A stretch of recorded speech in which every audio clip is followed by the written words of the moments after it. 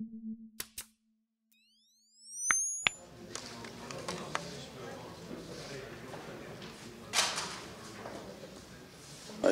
մենք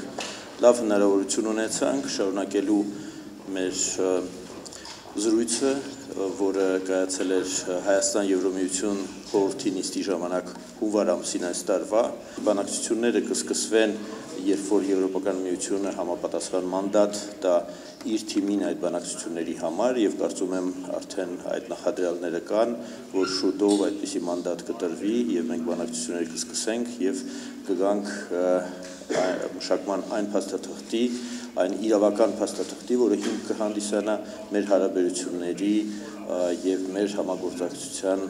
Հայաստանի եւ Եվրոմիության միջև։ Indeed for the first time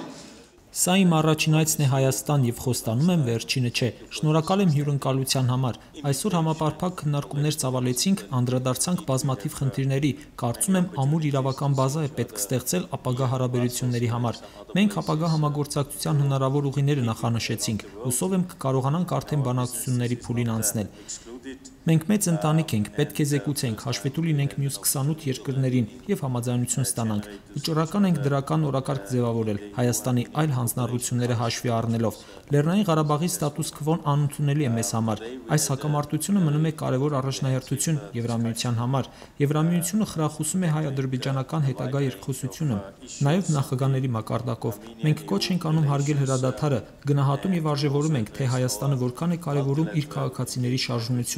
Դրական առաջընթաց ենք նկատում Հայաստանում ընթացող բարեփոխումներում։ Ինչքանով հնարավոր կլինի Հայաստանի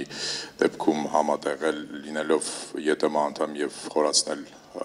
հարաբերությունները Եվրամիության հետ։ This was exactly Մենք ողրզել ենք ինչն է բխում Հայաստանի, ինչը Եվրոպայի շահերից համագործակցության ուղղությունների առումով։ Հիմա պետք է զեկուցենք, ներկայացնենք եւ ամփոփենք։ Վստահ եմ, որ ապագայում մանդատ կստանանք, որ անցնենք կոնկրետ բանակցությունների։ Կարծում եմ հնարավոր է ունենալ հիմնավոր հարաբերություններ, հիմնվելով պայմանագրային հիմունքների վրա։